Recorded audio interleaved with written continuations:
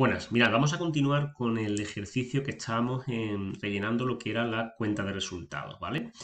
¿Os acordáis? Mirad, em, vamos a guardarlo. Fijaos, ¿por qué cuando hacíamos, eh, sacaba el, el- informe de la cuenta de resultados no aparecía nada en la parte de impuesto de sociedades cuando sí que estaba contabilizado? Os comento por qué. Mirad, nosotros cuando hicimos la contabilidad del impuesto de sociedades hicimos el impuesto diferido a diferencias temporarias imponibles, eh, activos por diferencias temporarias deducibles a impuesto diferido y el impuesto corriente. Esto surgía de las diferencias por eh, criterios contables, ¿os acordáis? Lo que eran leasing eh, y amortizaciones, ¿vale? Y el impuesto corriente. ¿Qué ocurre? Luego nosotros lo que hicimos, ¿vale? Fue el ajuste, el ajuste de la cuenta de resultados, ¿vale? La cuenta 129 6301 a 6300, ¿vale? Y luego ya hicimos el cierre del ejercicio, que era regularización de ingresos y gastos y eh, cierre del ejercicio, ¿no? Vale. ¿Qué ocurre? Para que se incluya, ojo, em, debemos de, una vez hecho los, los asientos del impuesto de sociedades, eliminar el asiento de regularización de ingresos y gastos, ¿vale? También el de cierre del ejercicio, evidentemente. Y una vez hecho estos tres asientos, volver a generarlos. Si yo lo genero ahora, fijaos, contabilidad, cierre del ejercicio, regularización, lo vuelvo a hacer una vez hecho los asientos del impuesto de sociedades. Sin el ajuste de la cuenta 129. Porque la voy a ajustar ahora. Le doy aquí. ¿Hacemos la regularización? Sí, fijaos.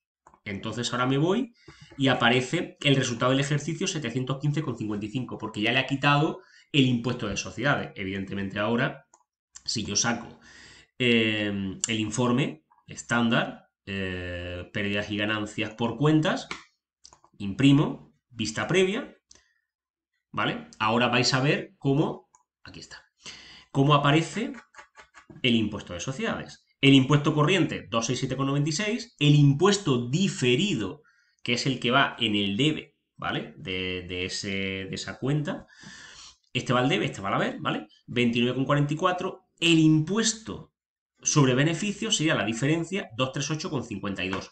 Vamos a ponerlo. Si ahora ponemos en positivo o negativo, en negativo, ¿vale? Vamos a ponerlo aquí. Menos eh, 238,52. Perfecto. Pincho fuera y me dice, ¿cuál es el resultado? 715,55. Fijaos, 715,55, ¿vale? Ojo, a ver, si no os apareciera, da igual. mm, pero es que debe de aparecer. Ten- tenemos que aprender a hacer ese, eh, ese proceso mm, de contabilidad. Lo, lo hicimos mal, ¿no? O sea, a ver, lo hicimos bien porque a efectos contables está perfecto, pero para que el programa lo coja, tenemos que hacerlo de esa manera. Cuenta resultado. Calculamos el impuesto, hacemos la contabilidad, eliminamos cuenta resultado y volvemos a, volvemos a generarla de nuevo para que coja los asientos del impuesto de sociedades. Vale.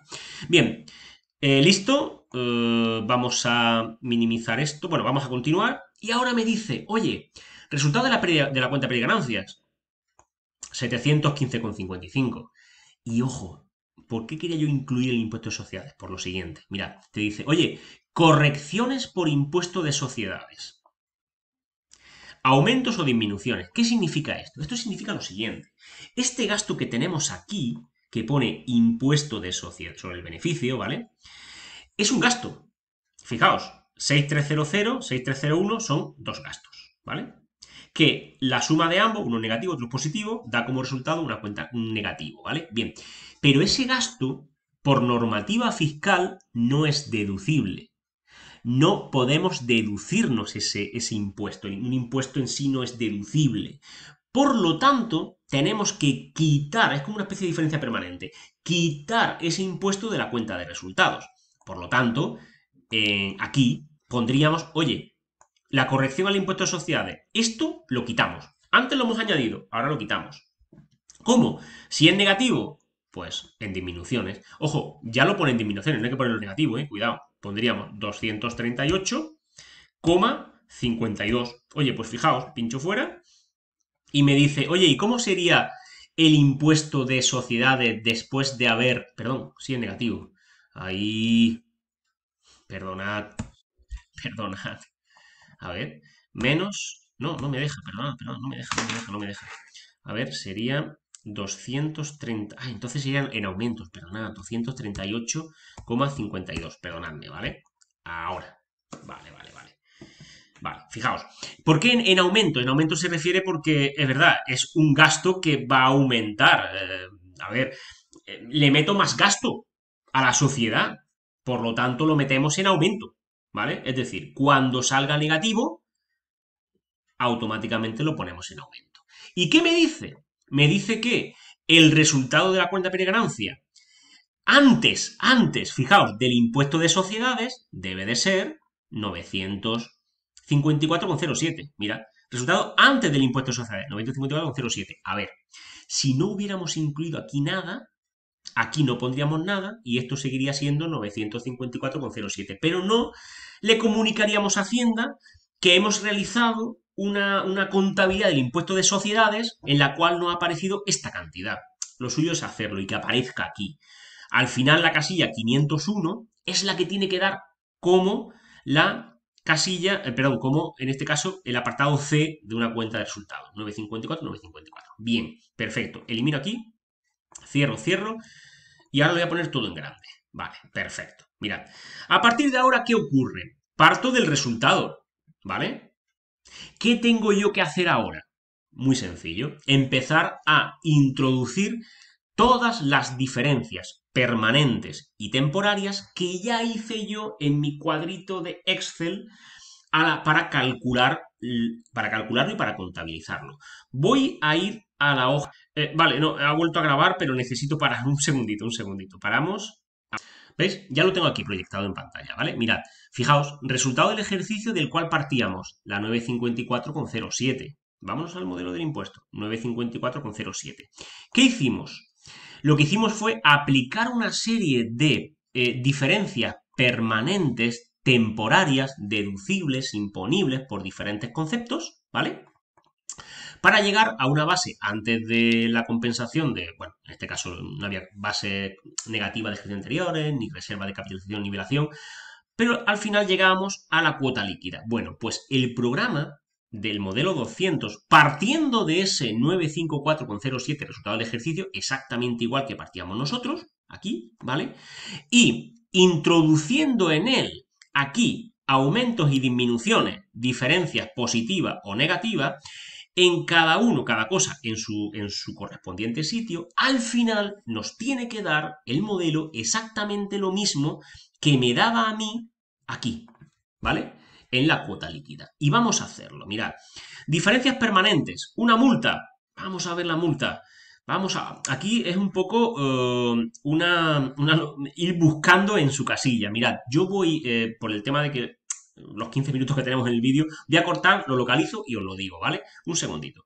Bueno, ya lo tengo todo localizado y vamos a comenzar. Mirad, teníamos eh, la primera diferencia, la temporaria deducible por el deterioro, ¿acordáis? Del inmovilizado material. Bien, aquí en el impuesto, eso aparece aquí, fijaos, pérdidas por deterioro del inmovilizado material. Casilla 331. ¿Vale? Bien, ¿dónde lo pondríamos? ¿Positivo o negativo? Positivo, pues lo ponemos en la columna de aumentos, es positivo. Bien, pinchamos aquí al lado y decimos, oye, ¿qué corrección hay?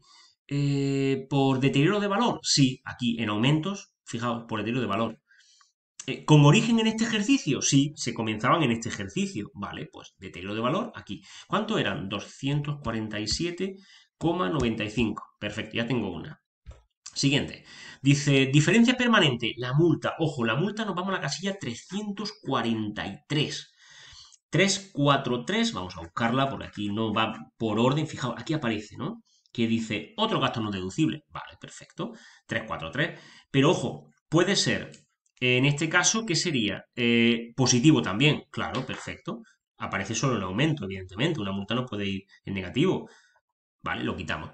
Por correcciones permanentes, sí, es una permanente del impuesto de sociedades. Perfecto, pues estaríamos hablando de una... Eh, ¿Cuánto eran? 400 euros. 400 euros de la multa en positivo. Vale. Luego tendríamos eh, este esta lotería que habíamos dicho que era un ingreso no imputable. Vale. Es decir, es un ingreso que Hacienda me dice, no, quítatelo, quítate ese ingreso, ¿vale? ¿Dónde aparece? En la última casilla de todos, que te dice otras correcciones a la cuenta de pérdidas y ganancias, ¿vale? ¿Y qué sería? ¿En positivo o negativo? En negativo, pues nos vamos a la columna de disminuciones, 414. Oye, vamos a ponerla aquí. Y sería 400. Eh, Oye, pongo solo 400 porque ya me aparece en disminuciones. Ya sabe que es negativo. 400 también. Vale, siguiente.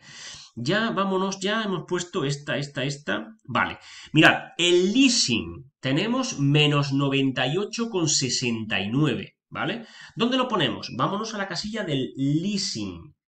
La del leasing, fijaos, vámonos, eh, creo que está por atrás, ¿vale? Y eh, sería, bueno, en realidad es por la amortización en este caso. Vale, la amortización en pan a la casilla 303. Vámonos, las amortizaciones.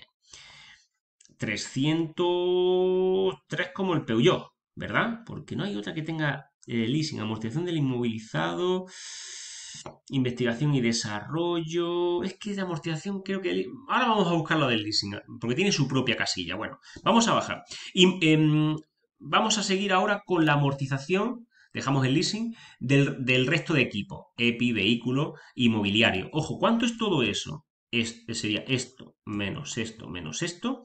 Tenemos 60,55, ojo, 60,55 en eh, disminuciones de amortización del inmovilizado, casilla 303.